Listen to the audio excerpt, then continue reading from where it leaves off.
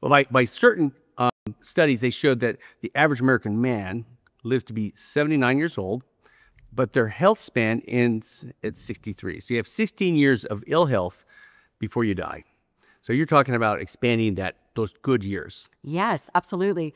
You know, I think there's two ways that we can age. And forgive me if it seems like it's black and white.